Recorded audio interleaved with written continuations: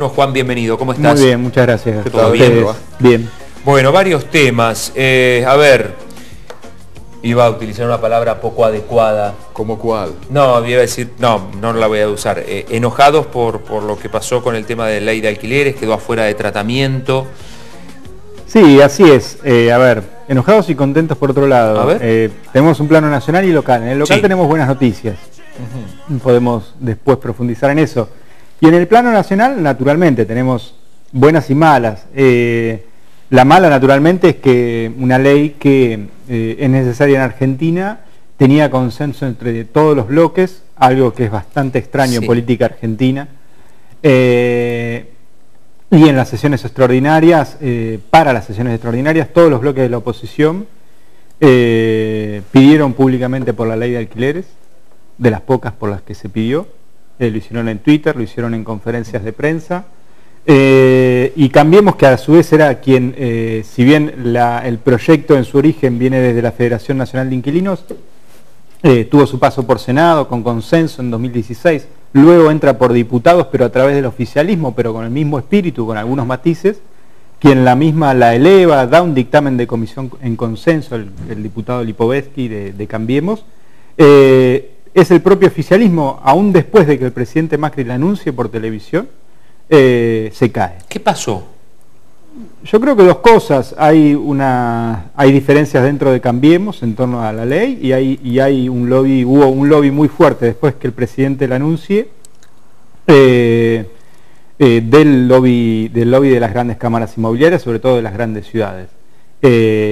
Aún así, aún así, eh, no deja de ser una desprolijidad. El, gobierno mandó eh, por el ejecutivo trata para las sesiones extraordinarias manda a su tratamiento 40 proyectos de ley para que se traten en menos de 15 días, de los cuales de las muchas no había consenso, o sea que varias no se van a poder votar a favor.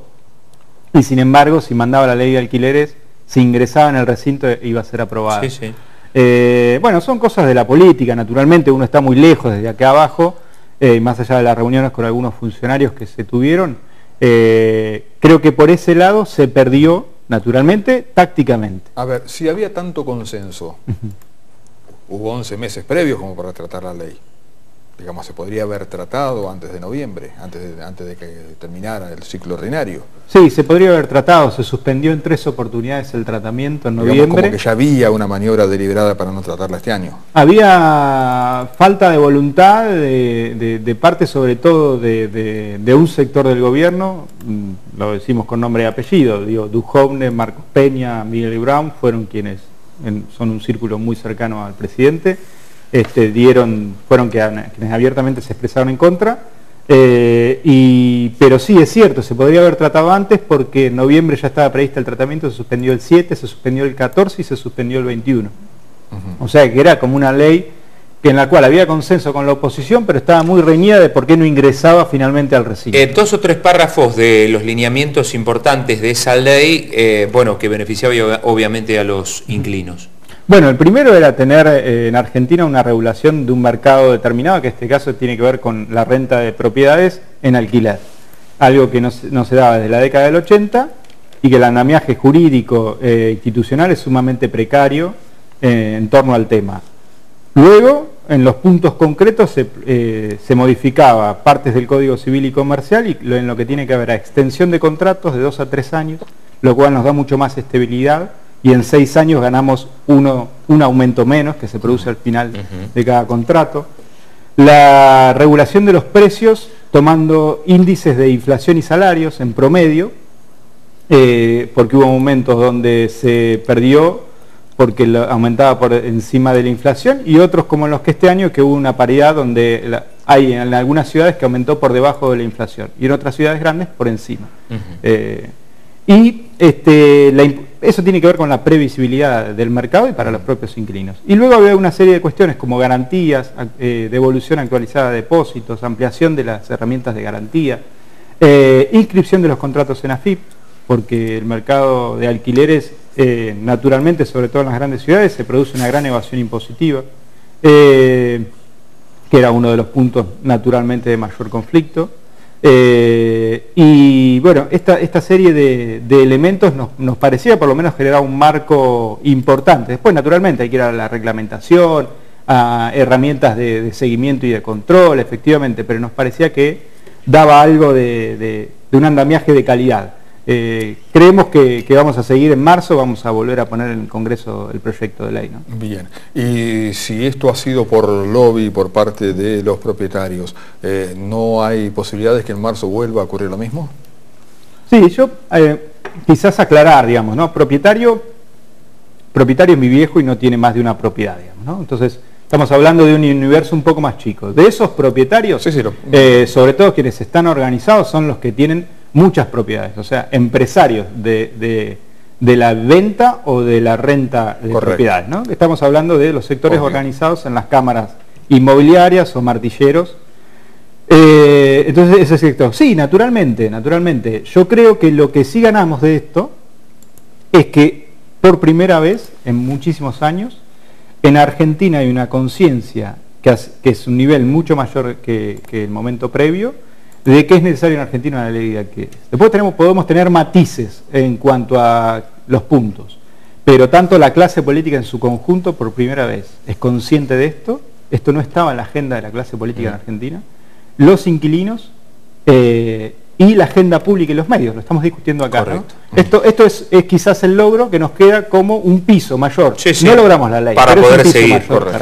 Eh, vamos a seguir charlando en el próximo bloque. Hablaste de novedades positivas en Tandil y de eso hablaremos en el próximo bloque también. No sé, Rodolfo, si querés dejar alguna otra pregunta. No, no, creo yo que bueno, es un tema más que importante ver qué es lo que está ocurriendo aquí en Tandil, porque en la campaña anterior se había hablado también bastante del tema alquileres. El egresó y recibió la medalla Terrea Monau, dice la abuela María del Carmen. Seguimos aquí charlando, bueno, del tema alquileres eh, con Juana Rizabalaga de Patria Grande, hombre que se ha puesto un poco el tema del alquiler al hombro.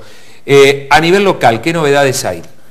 Bueno, creo que es la buena. Eh, ayer tomó Estado Legislativo el proyecto de crear una oficina municipal de atención a las y los inquilinos, que es un proyecto que elaboró el oficialismo.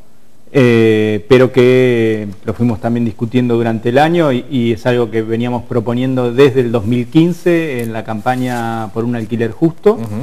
Y me parece que es una pequeña conquista que esperamos que el 27 en la última sesión se vote, eh, también como mensaje al resto de los bloques para que se vote por unanimidad y, bueno, podamos el año que viene eh, tener este instrumento que va a servir porque primero que va a informar y asesorar a todas las partes, eh, no es solo abierto a los inquilinos, y después porque la Oficina Municipal de Defensa del Consumidor ya no puede tomar, gran parte de los que se dirigen son inquilinos, y me parece que necesitamos esta herramienta específica, eh, y es algo por lo que planteamos ya en la campaña del 2015, el año pasado, eh, recién decíamos, en las elecciones se volvió a poner de distintas fuerzas el tema, lo hacía el oficialismo, lo hacíamos nosotros, y me parece que está bueno poder, poder consensuar estas cosas, eh, que tiene que ver con, los, con problemas concretos de la gente. ¿no? Bueno, damos un pasito, me parece que es una conquista, nosotros lo entendemos así, más allá de que no lo redactamos nosotros, el proyecto creo que es bueno, eh, lo he analizado con relación a, lo que hay en otras ciudades, y, bueno, y eso ojalá anime a que antes de fin de año también eh, el, municipio y las partes puedan anunciar eh, la creación del Fondo de Garantías Municipal, que también es otro elemento que pedíamos en la campaña y que también estaba en las campañas electorales del 2017. Eh, sé que se ha trabajado todo el año, lo hemos ido también siguiendo y discutiendo. y bueno, son, ojalá logremos eso también porque van a ser un puntapié perfectible para ir por más también, pero es un puntapié y tanto a nivel nacional como local, me parece que logramos eh, salir de, esa, de ese clima de, bueno, en este tema nadie se puede meter, nadie puede hacer nada, que es con el que empezamos a, eh, podemos probar efectivamente que hay instrumentos que pueden servir. ¿no? Bien, esto se trataría antes de fin de año, también antes de fin de año se trataría aquí en el Consejo Deliberante el presupuesto con un el mismo día. del 38%, que va a repercutir obviamente en los inquilinos y en todo Tandil. En todo Tandil. Sí, eh, naturalmente el tema del presupuesto todos los años es una gran discusión. Sabemos que es un presupuesto que se estima con más de mil millones en relación al presupuesto anterior, eh, casi el 50%. Eh, y naturalmente uno puede hacer muchas lecturas, una más técnica número por número, uno de los temas es justamente dónde vamos a financiar en esta situación un presupuesto tan grande. El, eh, el, secretario de Economía dice no es un presupuesto expansible a diferencia de los anteriores, pero con un aumento de la presión fiscal. O sea, un aumento de, salvo la tasa económica, la tasa retributiva de servicios, salud, calle, seguridad aumenta al 38%, salud hasta casi hasta el 50%. Eh, y de alguna manera, una lectura en principio general, a mí últimamente me da un poco la sensación de que a los gobiernos le va bien y a la gente le va mal. Y eso me preocupa un poco. Eh, porque... Bueno, Lungi no dice lo mismo, ¿eh?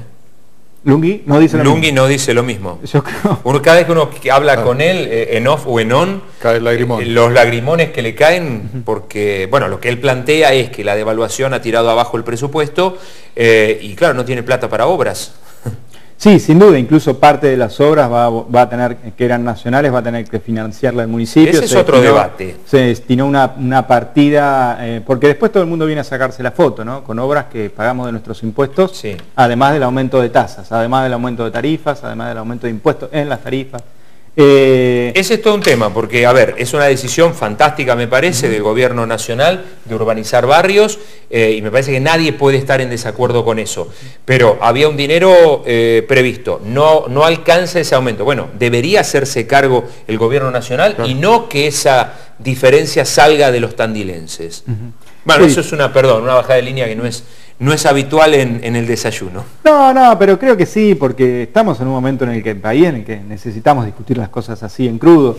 Eh, sí, a mí me preocupa eso, digamos, la política actual es una política muy financiera, que es sacar la plata de la calle, con tasas de interés impresionantes en pesos eh, y buenas tasas en dólares. Eso saca lo poco que hay en la calle, lo saca de la calle, eh, licúa la economía real eh, debilita las industrias, las pymes, el comercio, el empleo y estamos viendo que estamos cayendo. Si a eso uno le suma una presión fiscal local, eh, podemos peligrar una recesión mayor. Y, al gobierno le pueden dar bien las cuentas, pero a la gente le va a ir mal, digamos. Entonces, tenemos que discutir ese equilibrio porque realmente la situación en la calle está muy difícil, ¿no? La situación de la gente, los comerciantes, es, un poco asfixiante ya. Juan, gracias como siempre por acercarte cada vez que te convocamos. No, muchas gracias a ustedes por poder debatir estos temas de interés. Juan Arrizabalaga, bueno, varios temas, pero fundamentalmente el tema eh, alquileres, que es un tema que Patria Grande y Juan Arrizabalaga particularmente está trabajando